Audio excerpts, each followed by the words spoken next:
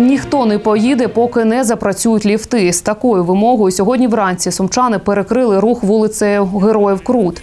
Люди нарікали, що ремонт підйомників був однією з передвиборних обіцянок міського голови Сум.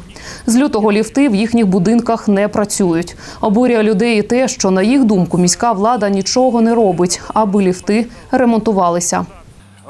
Шановний мер, включіть, будь ласка, ліфти в нашому домі по Черепіна 12.